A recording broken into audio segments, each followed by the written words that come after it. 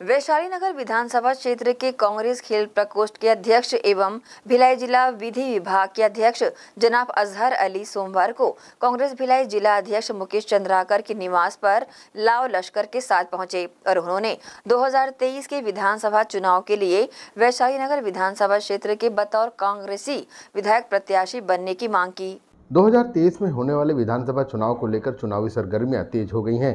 जहाँ एक और भारतीय जनता पार्टी ने अपने प्रत्याशियों की सूची जारी कर दी है तो वहीं दूसरी दिगर पार्टी कांग्रेस में टिकट की मांग को लेकर गहमा गहमी का माहौल देखा जा रहा है। इसी बीच वैशाली नगर विधानसभा क्षेत्र से कांग्रेस खेल प्रकोष्ठ के अध्यक्ष एवं भिलाई जिला विधि विभाग के अध्यक्ष अजहर अली भी वैशाली नगर विधानसभा से विधायक की टिकट मांगने के लिए भिलाई जिला अध्यक्ष मुकेश चंद्राकर के निवास पर पूरे लाव लश्कर के साथ पहुँचे। इनके लाव लश्कर में वैशाली नगर विधानसभा क्षेत्र के सभी इलाकों से समर्थकगण मौजूद थे। जिन्होंने अपना पूर्ण सहयोग एवं अपनी विश्वसनीयता जनाब अजहर अली के लिए प्रदर्शित की। सर्वप्रथम इनका काफिला बाबा फरीद नगर के निज़ामी चौक पर इकट्ठा हुआ। वहाँ जनाब अजहर अली का पुष्पगुच्छ देकर इस्तकबाल किया गया। इसके बाद इनका काफिला निजामी चौक फरीद नगर से प्रारंभ होकर शहर का भ्रमण करता हुआ भिलाई जिलाध्यक्ष मुकेश चंद्राकर के निवास तक पहुँचा। और उन्हें वैशाली नगर विधानसभा से विधायक की टिकट दिए जाने का मांग पत्र भी सौंपा। अब तक की बात करें तो कांग्रेस के लगभग 45 कर्मठ एवं वरिष्ठ कार्यकर्ताओं द्वारा विधायक की टिकट मांगी जा चुकी है।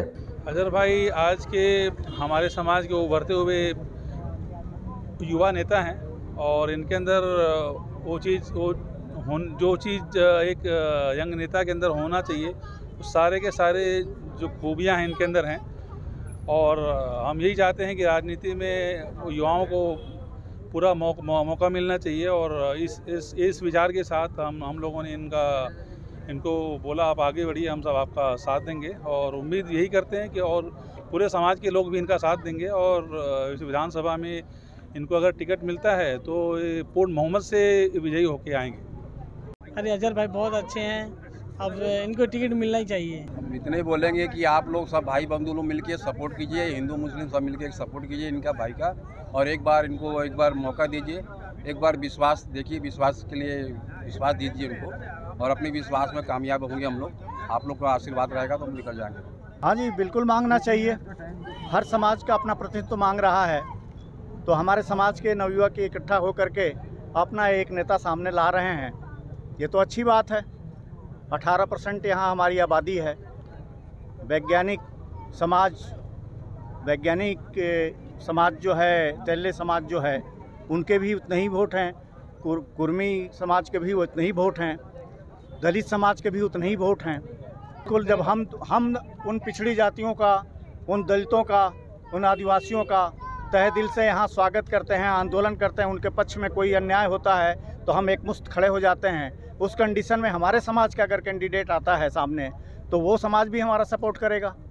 यहाँ अल्पसंख्यक समाज, सिख समाज है, यहाँ भाईचारा है उनका सबका। सिख ईसाई समाज है, हम लोग का भाईचारा है, और वो भाईचारे के भरोसे जो है, हर समाज दावा कर रहा है, हमारा भी समाज दावा कर रहा है। टिकट जिसे मिलेगा, उसको पूर्ण बहुमत के साथ जिताएँगे कांग्रेस पार्टी को, उसमें हमारे समाज का भी प्रतिनिधित्व करने की हम मांग कर रहे हैं। बिल्कुल मिलेगा, सर। ये हमारे भावी नेता के रूप में उभर रहे हैं। उनको ज़रूर मिलना चाहिए, टिकट हम यही चाहते हैं और आगे चल के ये हमारी क्षेत्र का विकास करे, यही हमारी इच्छा है। जनाब, अजहर अली पेशे से वकील हैं और उनका मानना है कि वह आम जनता के बीच में लोकप्रिय भी हैं। और वैशाली नगर विधानसभा का विधायक बनकर अपने विधानसभा क्षेत्र का विकास बखूबी कर सकते हैं।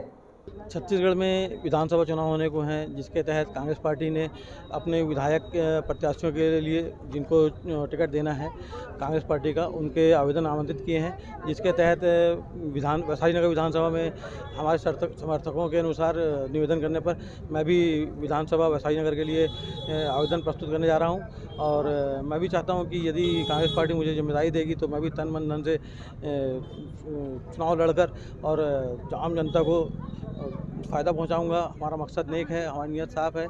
हम लोगों की सेवा करना चाहते हैं और सेवा करते आ रहे हैं और यदि हम संवैधानिक पद में रहेंगे तो और अच्छे तरीके से सेवा कर सकेंगे।